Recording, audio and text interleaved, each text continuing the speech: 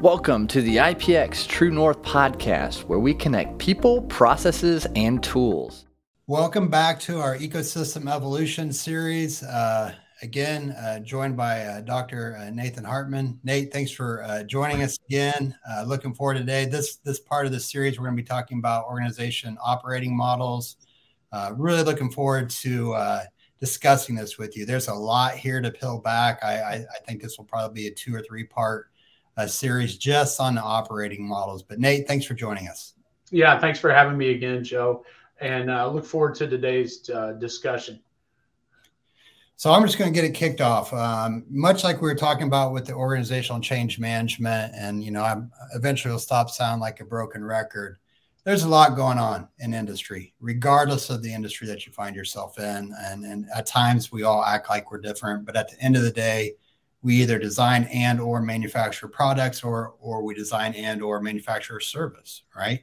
And i think it's important to look at it that way. A lot of people don't talk about a service as far as the design and the manufacturing of those elements but a lot goes in to the service side of the house. So just wanted to throw that out there. Mm-hmm. um, from my perspective right now you know we hear a lot of uh, digital transformation transformation is continuous improvement but there's a lot going on. And and if if organizations aren't reevaluating their operating models they're going to get left behind. And i and i think there's there's things we've seen over the last couple years. You know we've seen them over the last two decades but honestly the last two years i want to put some focus on um, but are a bit concerning. Uh, when you look at recalls which i'm going to get into in a little while when you see quality escapes uh, when you see upper echelon companies go from you know, the top of the bar to, you know, bankruptcy within two months. I mean, it's it's pretty interesting. And I think a lot of that is, um, of course, the operating model, accountability within the organization from a leadership down. Um, but I really want to peel that back, Nate. And I also want to couple that with, as you know, our CM2 DNA platform, our our end-to-end ecosystem DNA platform that you know traceability and interoperability uh, model and methodology. And I see you got your CM2 shirt on today. Um, I would say we're, we're twins, but I'm I'm actually wearing my CM2 uh, brief, so I can't show those on video, and I'm sure our audience don't want to hear that. But it's nice to see that. And as you know, this is something that's been uh, near and dear to my heart prior to uh, my current role. You know, I was a, a, supporter and a practitioner of CM2 uh, for the last 20 years. So there's a lot there. And I think there's a, a great opportunity to utilize such a model to evaluate your operating system. So, Nate, I just said a lot. But given the pace of change and, and the potential uh, disruptors in the industry, where do you see executives struggling to determine where to place their bets where to invest and when to do it you know so that's i, want to start there at that kind of again at that executive level much like we did with our ocm series mm-hmm. so yes joe you did say a lot uh, the you know so from my perspective again I'll, I'll, maybe bound this just slightly by saying um, that you know this isn't um, necessarily, in my mind, an answer that's geared towards, say, betting the long term financial or social viability of the company as much as it is uh, sort of a focus on day to day operations that get you to your your longer term goals. You know, you mentioned uh, you know the CM2 model uh, and the the CM2 DNA for for processes and you mentioned specifically interoperability and traceability. And I think those are two key things that executives, um, you know, current and, and uh, you know, just barely into the recent past, uh, but certainly into the, into the future are going to have to deal with.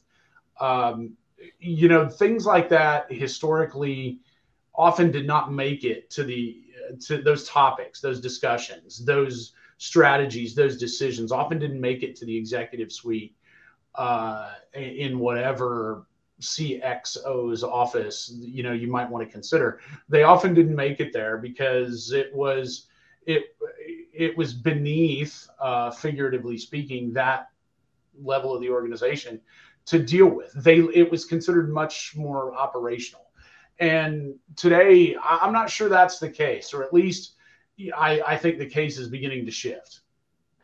You know, you talked about business models, you talked about operational models.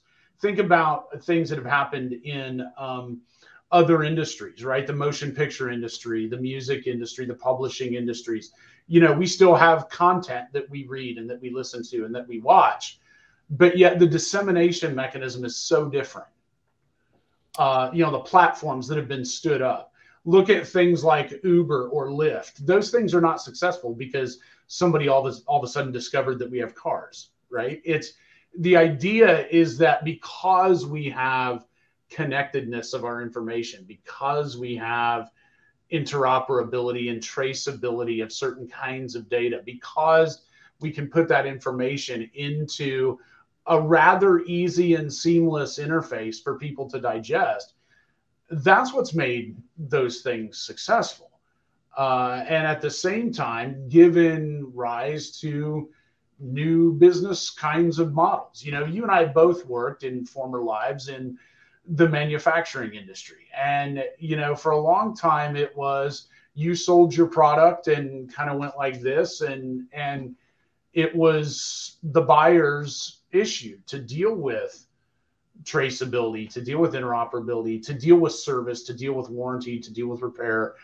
Um, but yet now, products in some cases are no longer sold as capital assets, if you will. They're sold as services. You know, I might buy the um, the product. It could be a car, it could be a plane, it could be an engine, it could be a toaster I suppose. But but you know, the point is is that I don't, you know, and and we're seeing this social shift, right? In the fact that I don't necessarily want to own the artifact or the or the product. I don't want to have to invest in the ownership in some cases. I just want to invest in, or I just want to pay for, or I just need the product when I need it. I need I need the capability or the I need what it does for me. I don't necessarily need to own it per se.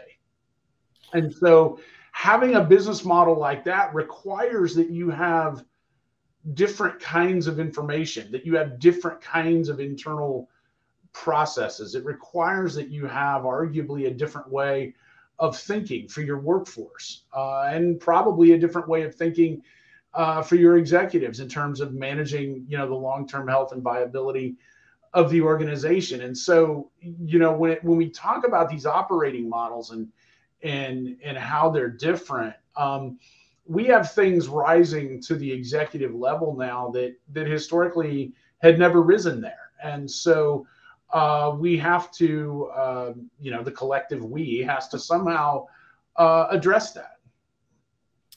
You know, and I, I, I want to couple that. You know, from a manufacturing standpoint, you and I are aware of the the life cycle phases, right? From concept to decommission, and what I'd like to do is focus on this next few minutes talking about kind of the as needed to the as enabled or the as produced, right? So mm-hmm. have an idea.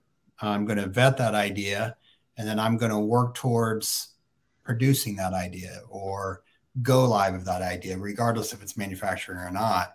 Um, but let's just let's just start there. So and, and you touched on a, a great thing with Uber and Lyft, right? There was there was a need and they vetted that need and then they, they went to they went to market with that. Where where i think a lot of organizations are struggling and it's this service model right from a production standpoint. So now i could sell a product or i could sell a service that has a product associated to that. Um, you know let's let's use the toaster example. Um, you know it's a great one. Everyone wants a perfect piece of toast. Um, I don't need a toaster with the TV on it. I need a toaster that gives me the toast exactly how I want it. If I'm going to purchase a, a toaster or a service to give me perfect toast, that means the producer of that toaster must have the capability or the algorithms to understand the individual need, right? I like my toast a little crispy, some like theirs chewy. Um, that's complex because you know yes we have products out there today with a lot of options and variants right i could i could go into a sales configurator on someone's website and I could design my perfect phone. It could have everything custom, every brand, every color that I want that I can imagine. I'll pay for that. But the capability for the most part is going to be what's offered from the manufacturer and what's offered from the service providers that create the apps. Um, from an operating model standpoint and from a business model, and I'm I'm I'm kind of slow pitching towards this recall discussion I want to have here in a minute, and I'm and I'm doing this carefully. Uh, how do these companies that have been around for 20, 20 or 30 years adjust, right? They're so used to that serial production and that mentality of we're going to produce, you have whatever, you know, it's the old Henry Ford model, right? You could have any color of vehicle you want as long as it's black. Mm-hmm. Um, and, and in many ways that hasn't changed, right? And, and we, we kind of mask that with some variation, but the reality is form, function, and you know outside of some of the outliers it's you're going to get our product and this is how it's going to work right. I promise you it's going to do this and if you're not happy about it we promise you in a few releases to update that. But from concept to production i really want to focus here because i think this is going to go to my next segue which is recalls. Where do you see the greatest need of change from that that initial idea until the time i produce it? You know, to me, I think um, maybe a couple different spots. One is, you know, writing requirements is hard. You know, writing good, valid, um, achievable, uh, auditable requirements is a challenge. It's it's not necessarily an easy thing to do, and uh, because to some degree it requires you to be able to look look into the future to see what might possibly happen uh, with whatever product it is uh, or service it is that you're that you're defining. And and and again it's not always an easy thing to do because there are so many variables that affect what happens when that once that product leaves sort of this its design or definition stage and goes into production you know there are um, supply chain issues, there are tooling issues, there are workforce issues, there are environmental issues, there are you know fill in the blank. There's there's all kinds of issues, and then certainly when that that product leaves production and goes into into use wherever that is, you know there's all kinds of other uh, issues that come into play. And so as a as a manufacturer, you have less and less control of the function of that product, the farther and farther you get from the requirements definition stage.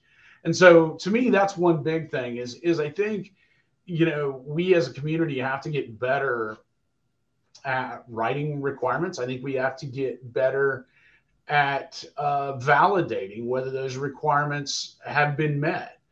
Uh, I think we have to get better at developing our contractual mechanisms to account for the fact that we can gather performance data and develop um, projections and develop um, you know regression models and predictions and the like from those things. And and i think right now uh, you know we have challenges within our uh, say legal and and and case law uh, kinds of communities there where you know, for better or for worse, their area, their community, their disciplines are just now beginning to to contemplate those those sorts of things.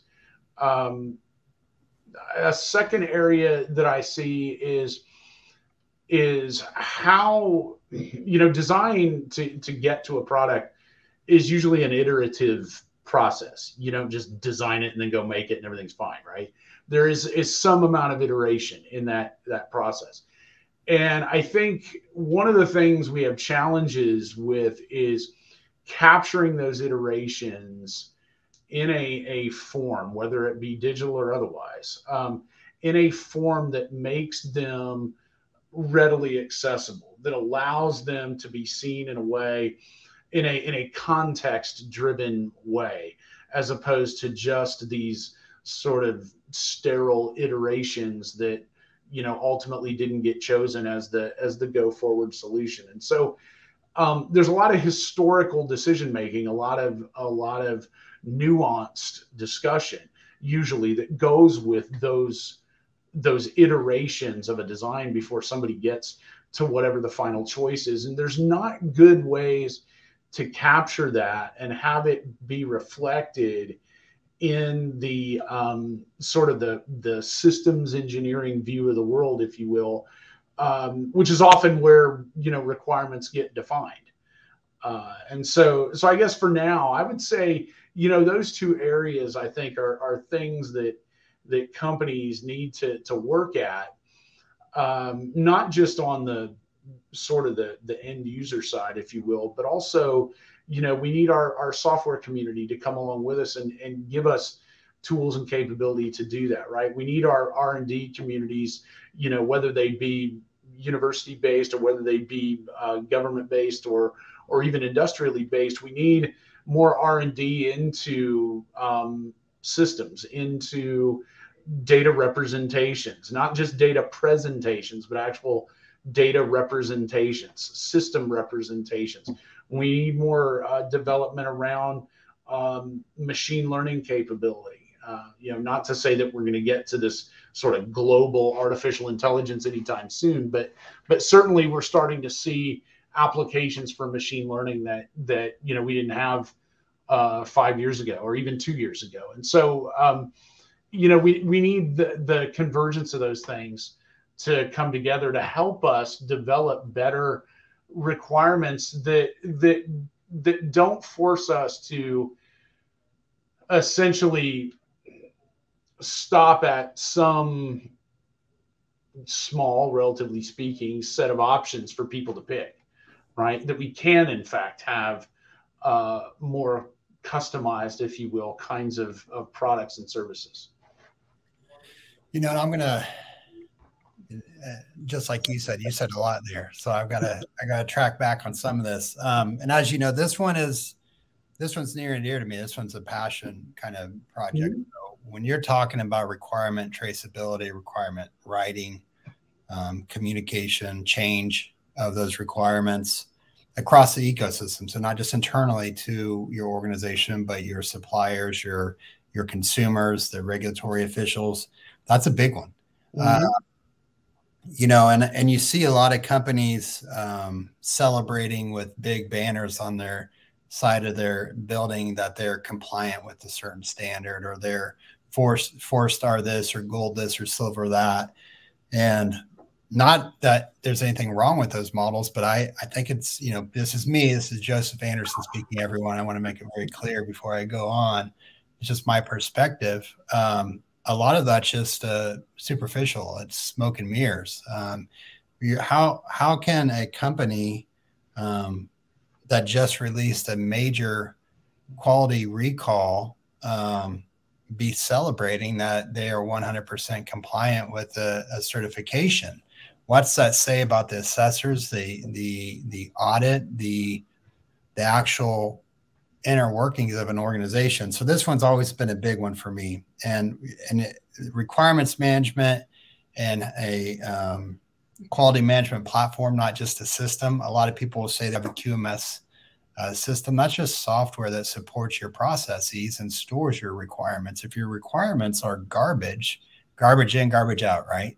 Um, if the linkages to requirements that you're enforced to follow aren't clear, concise, and valid, CM2 mantra. Um, sorry for the little plug there. You're going to get a few of those today. And I, I typically try to avoid that, but this one's important. Um, if those requirements aren't clear, concise, and valid, you're set up for failure, not success, or you're set up at least for um, an investment in intervention resources, right?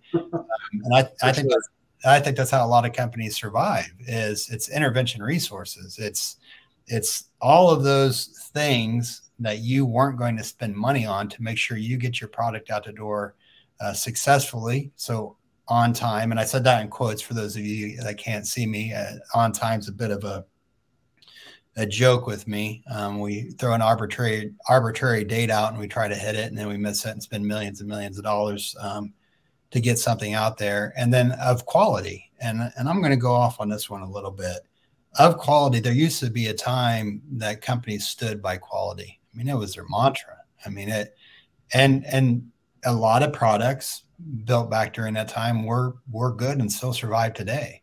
They might not have all the fancy software and, some of the capabilities and functionality that you can get uh, that you know a modern tech, technological evolutions brought us, but the quality was good, um, and companies stood by that.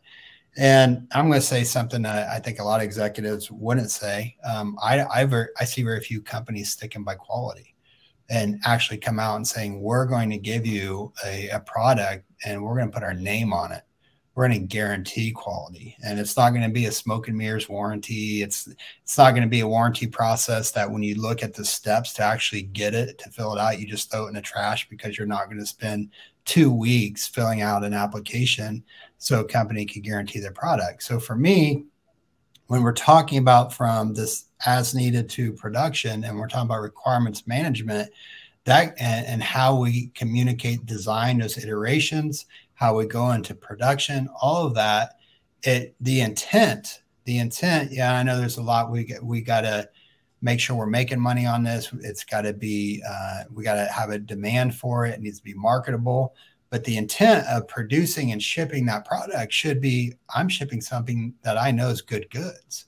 Um, and, and maybe there's some outliers there, but I'm telling you right now, I and I don't know if it's a complacency in the market um, with consumers. They're just used to getting products that only survive a year or two, and they throw it in the trash or they they donate it. Um, I don't know if we've gotten so used to seeing major recalls that we've been mm-hmm. complacent but this one really, you know, to me, it hits you right in the face. And you, like you mentioned, you've got these, we've got software needs, we've got uh, internal needs, and that's where, you know, our, the CM2 uh, digital uh, standards, CM2-600, that's where we are able to vet digital solutions and how they manage requirement traceability, interoperability, and communication. And when you got Dash 500, that's how we can assess the as is state of an ecosystem of any organization and define your to be state, I see a need for investment there and an honesty within organizations that we need to one stop just throwing money at new tools because we do that all the time. We think a new tool is just going to magically solve our problems, but the reality is, and, and Nate, I think you know this better than anyone most of the time the tool providers are forced to configure and or customize the tool based off of legacy processes because at the end of the day that's their customer. If a customer mm-hmm. says you know what? I know you say the button should be red but we want it blue because it's always been blue. And that might seem trivial but when you start talking about workflows and processes that starts to compound a problem. So my next question saying a lot here nate and as you know this is this is a big one for me what are we going to do? And I spend a lot of time every week. I look at the recalls. I mean, you could check out recall.gov. You could go to each agency, medical devices. You could go to NHTSA. So you could see everything from aerospace, to automotive to uh, nuclear to healthcare. You could see the recalls that are going on, and it's daunting. And then when you dissect them, uh, again, I'm a bit masochistic, and I do. The majority of those recalls are due to poor configuration management, poor change management, design failure, variation and deviation in manufacturing process. Very few times are they related to someone within the company violating a process. So, mm-hmm. what's that mean? From my perspective, it means one, your processes are poor. The way you're designing, communicating, changing, and producing product, they're all band aided. So, from your perspective, Nate, when you look at recalls, and this is one I, I, want to spend a little time on, when you look at this issue, and I, I think it's it's hidden. I really do believe the recall issue. When you look at the data, we have a major issue, and it, it only takes one recall for a plane to drop out of the sky, a car to uh, blow up or stop on the while it's on the road, or for a let's say treadmill. Um, to cause injury and to see a company tank overnight.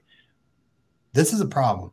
And a lot of companies can survive recalls because they're cash rich or they've got a, a brand that can absorb such a hit. Uh, a lot of companies can't. this is an issue. And I and I know, listen, companies can't just stop producing and designing and change everything.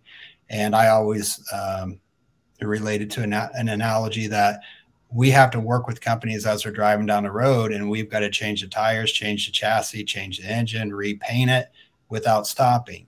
So from your perspective, you know, one, if you agree that yeah, recalls are a problem, which I, I think most people would, where should we focus there? So we've gone out of the concept stage. Now we're in that design, getting into production and to as fielded or shipped. What's broken? Nate, why do we see automotive recalls within the six, seven figures? Why do we see healthcare devices failing?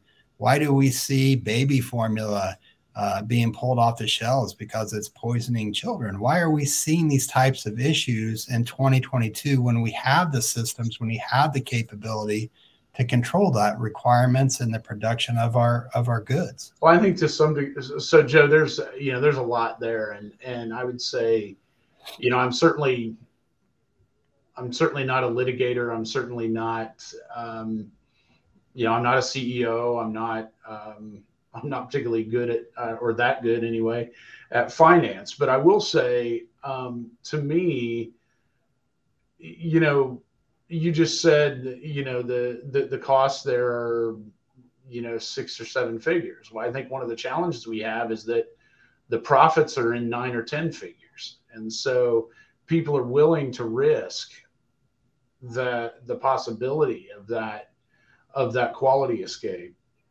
uh, in in favor of uh, you know the profit that the odds are more likely that they're going to make that profit, then they are going to have to deal with or pay out on that quality escape. And you can say that's just maybe the laws of big numbers being in your favor, or you can say that uh, you know that it's the state of our of our legal system or the state of our contractual recourse or or what have you. But I think ultimately the profit that that people realize outweighs that that risk. I think that's one thing.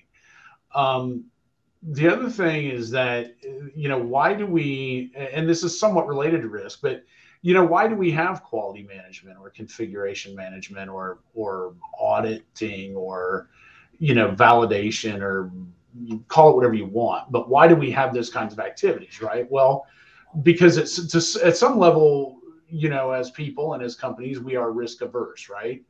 And over time, we've said, yeah, I mean, there's sort of a moral and ethical thing here that, you know, we don't want to put out products that are going to hurt people. We don't want to put out products that are going to fail all the time. Yet we live in an environment today, and we have for probably, you know, ongoing for the last couple of decades that is essentially a, you know, a throwaway culture, right?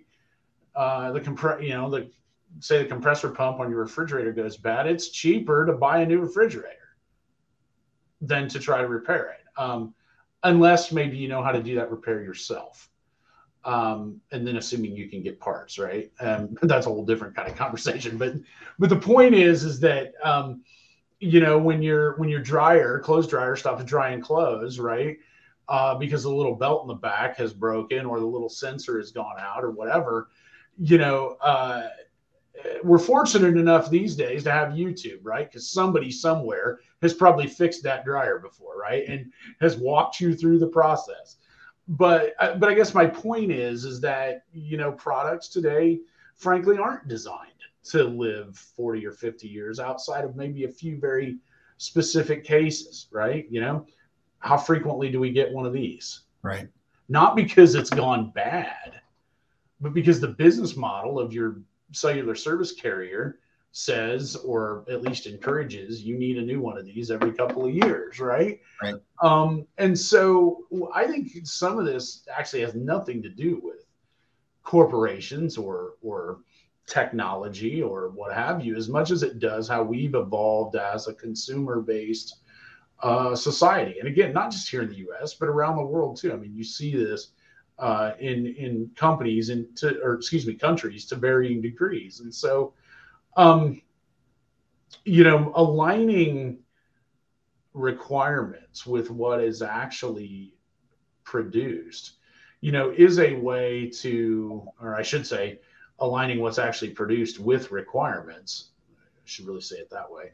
Is uh, you know, it's it is a way to enforce quality. It is a way to enforce um, responsibility. It is a way to enforce uh, liability or or the avoidance of liability. And um, so I think we need to think we need to think about those kinds of things and those uses for um, requirements definition. Yeah, and, and for those of you uh, that aren't watching this on video, Nate uh, held up his uh, 2002 flip phone. Um, that's a phone using for his cell service. No, I think I think what I held up was my uh, 2020 uh, version of the of uh, of my cell phone, and so I, I think um, you, you, know the the other thing I would say is that um, you know to be fair, you know, organizations do have to make choices in terms of of the kinds of options they can offer, the kinds of, of capabilities they can offer, um, whether they can be profitable at doing it. Because um, you know, I certainly don't think we're we're sitting here arguing that that companies should not make money, right? I mean, we're not we're certainly not saying that, and uh, but yet I think we are saying to some degree that uh, we might want them to say be a little bit more uh, responsive to their customers. We might want them to be a little bit more responsible of uh, of uh, corporate citizens. Uh, well, I think we we are saying though that that some of these things that end up on the recall sheet uh, are avoidable with not a lot of extra work or or or cost. And so, um, you know, some of this is about changing mindset about raising awareness, about, uh, to be fair, having stronger penalties when things aren't abided by uh, when they should be.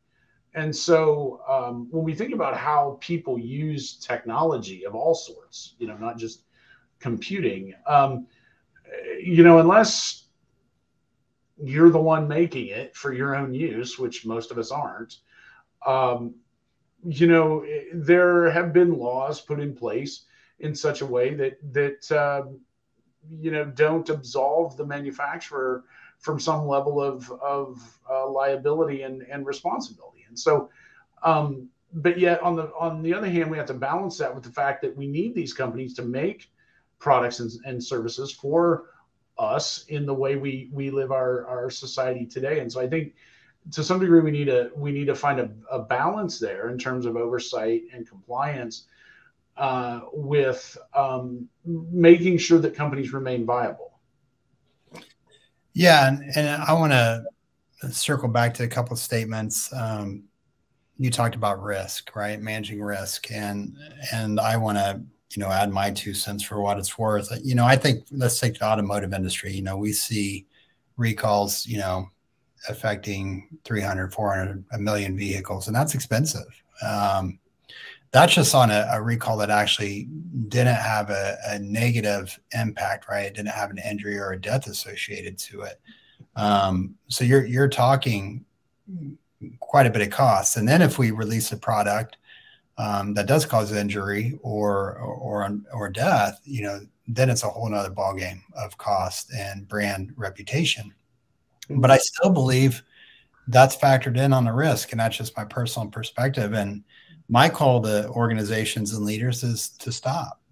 You know, mm-hmm. let's let's take the time um, to ensure the products we release aren't going to injure or, or, or, or, cause a fatality. Let's at mm-hmm. least let's at least set the bar there. I don't I don't think that's yeah. difficult.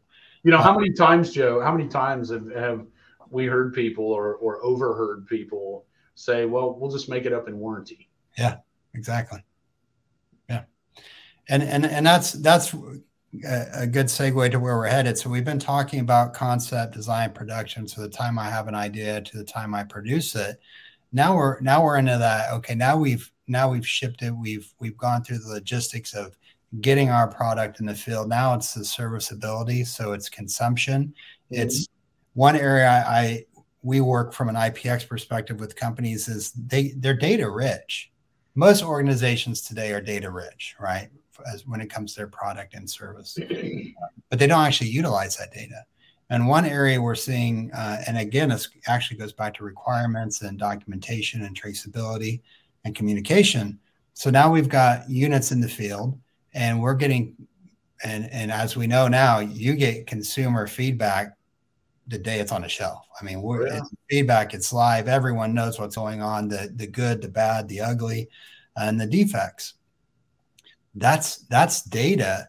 If we were to get that data back into product development, so going back a little bit, but when we just talk about serviceability, the ability to get that service data on the the warranty issues, the the updates that were needed in the field, the the consumer uh, returns, get that into product development and ensure the next iteration incorporates all those issues i think i think that would make us a better organization. I know that seems simple to say and i'm doing it uh, on purpose but most companies aren't doing that.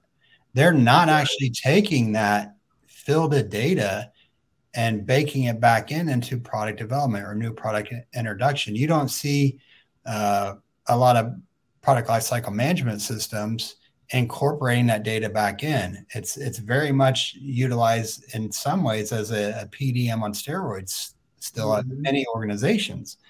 But if we enrich those capabilities and those tools and our mindsets, now we have a full cycle, or A cycle uh, uh, for our organization.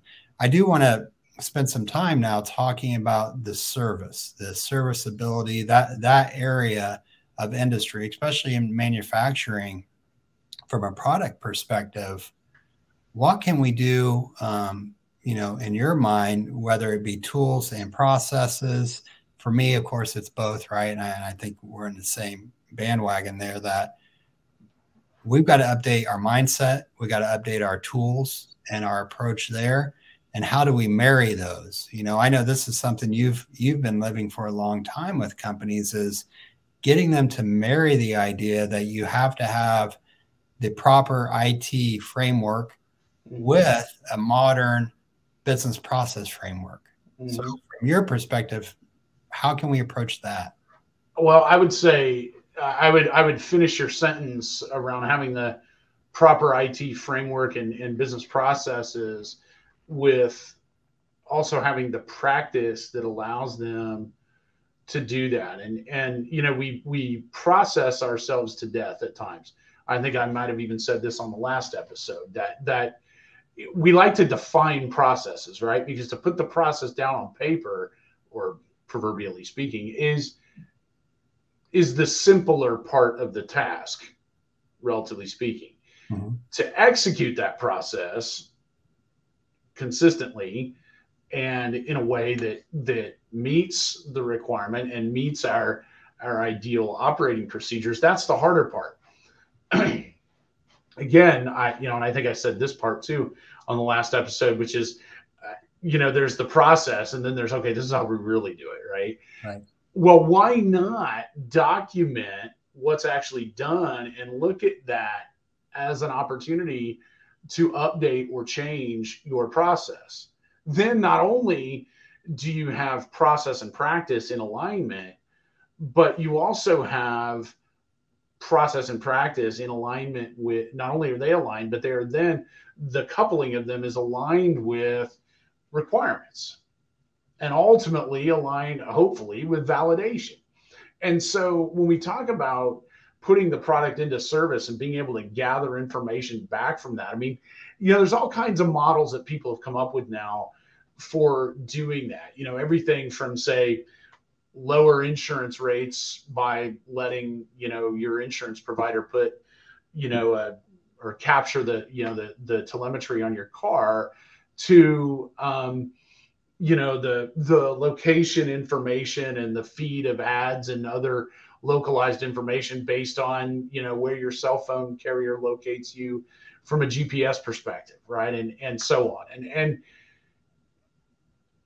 that being said, those are really consumer level examples of this. And I think in, in the industrial sector where, you know, we talk about airplanes and ships and cars and, and industrial machines, and we talk about, um, you know, even outer space related vehicles and so on, this idea of service of serviceability and, and the connection between requirements definition and, and serviceability, that becomes a much different kind of conversation, I think, because again, it kind of goes back to to what we were talking about very early on in our episode today is the the the idea that um, a product uh, or a platform is not just you know this capital asset that we buy now right? We we've entered into these uh, kind of contractual arrangements in certain parts of our society where it's not the user of the product who actually has to maintain it. You know the the OEM will come and and maintain it or or sometimes even maintain it remotely if we're just talking about a software upgrade and such. But when we talk but in order to do that right you mentioned infrastructure and processes that need to be in place. We do have to think about that business model that serviceability part of the business model when we're defining requirements when we're establishing infrastructure, when we're doing our design trade space studies and so on for for ultimately deciding which of the versions or configurations of this that we're going to produce you know we have to think about all right you know so how easy is it to service? How effective is it is it to service can we actually work with our customer regardless of who that may be to service something? You know and so uh, you know again for those of us who who are of a certain uh, age you know we remember being able to work on cars right? By you know putting the little hanging light there and uh, you know why you might, might have been watching your dad or your uncle or your grandfather or somebody uh, what have you um, work on that car right? And and you know being yelled at for not handing them the right tool. But the point is is that we used to be able to do that. Um now it's not that we can't anymore. It's just it's become harder because you know the packaging of of of cars today is much different than it was. You know and there's a number of other examples of of um, of how consumers at one time would service their their uh, products that they would buy right? Whereas today, we're probably much more likely to throw it away or trade it in or sell it or whatever and get a new one versus fixing the one we have. And I think to some degree, while there's certainly changes in you know profit models and so on that have driven that, some of that though has been by design. You know, there are a lot of companies now these days that don't provide uh, you know service parts, if you will, down to a certain level of their bill of material structure, right? Well, why is that? Well, because they made a decision that it was not viable for them and in, you know according to whatever metric they used to service individual components right? You have to buy the subassembly. Right. You know i can't just get the gasket or the washer or the handle or whatever. I've got to buy you know 15 parts and i only need two of them. Right no, and I think that's that's an important statement for our audience to understand. And I think that's going to get more complex, to be honest, if we don't get control and from a consumer perspective on on what we demand of our uh, manufacturers and you know our our, our product designers, but uh, that as ma- maintained process, as you just discussed, I think it's still evolving you know, I think there's still a lot of room for maturity. And when you couple that with the the end of this life cycle, the as decommissioned um, or as archived from a requirements perspective, but from a, a decommissioned. So how do we recycle? How do how do we um, get rid of all of this stuff? Because right? it's not just a physical asset that we're going to recycle. Hopefully, we're going to recycle the data. Hopefully, we're going to recycle the knowledge. Hopefully, we're going to be able to make you know version 2.0 or whatever of this of this product better than the previous version And so it isn't just about, you know, sending it off for the landfill or, or, you know, melting down and reclaiming the metal or the plastic or what have you. But we also want the information that goes along with that or the, the data, if you will, uh, of you know the the life well lived of that product right? We want to know how did it perform? And and and ideally that that brings us full circle to to a better definition of requirements a better you know design trade analysis a better set of production metrics right? A better a better you know supplier and OEM communication, right? A better interaction with our consumer. Yeah, and I and I think that's one that honestly is one of those. It's an afterthought at times, you know, mm-hmm. and pretty much most of the time, honestly, in my experience, and it's it's a, it's concerning. You know, when we talk about battery powered vehicles or really anything battery powered, what's the process and how it's how's it being communicated to the end user that this is the end of the life expectancy expectancy for your for your product. And this is a proper procedure to ensure it's it's taken apart and recycled correctly. And that's that's a big fear of mine. So um, when we start talking about as maintained as decommissioned understanding those requirements uh, across the supply chain and we're going to get into the supply chain our next series mm-hmm. that could be very daunting. And from my perspective we're way behind the mark there. Yeah. and you know to use that word evolve again you know that's that's a big mantra here at ipx it's getting uh, organizations to understand it's the time is right now. Um, otherwise we're going to be flooded with just a lot of stuff yeah. uh, from a product perspective that our consumers have no idea what to do with and quite frankly no one knows how to handle and it's going to mm-hmm. end up in in landfill. And we all know where that goes right? We've right. we all we've all seen the cities that are built upon toxic waste and what that does to the ecosystem there from the people from the the community from the jobs. It all has a ripple effect. And i do believe this is one area that we need to, as an organization ensure. And, and from a regulatory perspective as well that our as maintained requirements and our as decommissioned requirements are clear concise and valid. Well i think some of this too joe speaks to just more basic, um, in, my opinion, more basic um, social levels or social implications. Is that you know we have levels of technology today to do most of the things we need or want to do um, to address some of the social, environmental, whatever kinds of challenges we have. I think what we lack is a willingness as a society or as a people to to make that trade-off right? Uh, it's it's far easier to just throw it in your trash can and and not worry about it anymore. But you know I, uh, where we live you know they uh, the city put out a a, a newsletter uh, they put it out every few months and and uh, there was a blurb in this last one about recycling. And so in our community we have a a mixed recycling scenario where you can put your paper, plastic, cardboard, what have you, into the same bin and somewhere that's sorted. Um, but what they what they commented on was the fact that a lot of um, the the cardboard and the plastic in particular is uh, contaminated with food waste, and you can't, for whatever reason, you can't um, recycle that as easily or at all. And so, you know, they made comments about, you know, rinsing out your plastic bottles, right, when all the ketchup's gone, or, you know, rinsing, uh, or not necessarily rinsing out, but, you know, if you get a, uh, you know, if you order a pizza, right, and there's cheese or whatever stuck to the box, scrape that off in the trash or down the garbage disposal, whatever, and then put the box into the into the recycle. And so, I think you know until we have some behavioral change until we have a willingness to to address some of these things um, you know we can write a lot of requirements but uh, and we can we can gather this information we can do all of these things right? But it comes down to some individual levels of responsibility to do the kinds of things that that we need to do on our end of the bargain, so to speak, to to make sure that socially and environmentally and technologically and the like that uh, that things are operating as they should.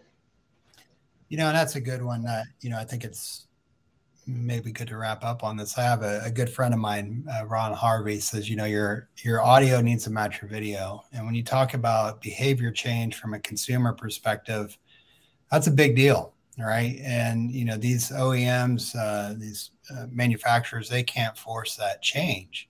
And I think as individuals, that's one thing that we, again, we go back to accountability, right? Mm-hmm. And we say we want the earth to be around for a long time. We say um, we want to do all this work, but do we really take the time? Do we feel like it's too much of a hindrance on my daily operation to scrape the cheese off a, a pizza box, to rinse out a ketchup bottle? And if that's the case, then we we have some big issues, and I think I think we do have some big issues and and I think it's at the same time, you know, the accountability and the behavior change at, at these producers, these manufacturers. You know, how are how are we shipping our products? Are we shipping? Is everything our um, product is contained in? Is it all recyclable? Uh, if if the answer is no, then why not? You know, mm-hmm. is it just because we we want the the optics of the packaging to look good, or is it from cost? But what can we do? there as well. But for me, um, with everything we've talked about today from operating models, it's does your audio match your video? Are you truly going to invest in an evolution of your organization? So are we going to assess our entire ecosystem and define who we who we're going to be in the future? Or are we just going to keep band-aid fixing and compounding problems with the hope that one day maybe technology will catch up and fix everything for us? um, you know, as we all know, the the room's not going to clean itself, right? That's a right. that's a statement many of us have probably heard for a long time. It's there's there is no Jetson robot that's going to come and clean your room for the majority of us. Maybe in the future that you know a few of us will be able to afford such, but the reality is we got to do a lot of work uh, from an organizational standpoint and from a consumer standpoint. Uh, and that's really what I wanted to close on for this. And I know we're wrapping up, and we've got a great series ahead for our listeners uh, and for our viewers as well. Nate, want to uh, say thank you again. It, it's just it's a pleasure uh, to join you on this podcast on this series. Really looking forward to uh, uh, peeling back the onion on some of these things. We've got some really intense things to talk about just from an organization standpoint. We've got supply chain management coming up, and as we know over the last couple of years, that's the, that whole industry uh, has, mm-hmm. has kind of imploded in some ways. And there's a bow wave of change there uh, from supply chain management and the way we look at um, our supply network. So I look forward to talking about that with you. But Nate, thanks for joining me today. Yeah, thank you, Joe. I think it was a great conversation. And and to your point about uh, supply chain, there's there's definitely uh, a lot of work that we can do there, both in uh, employing technologies as well as looking at the way we we use our process and our data. So looking forward to that next time. Thanks, Nate. Thank you for tuning in today. Don't forget to subscribe and review the show. And for more information on IPX, visit ipxhq.com.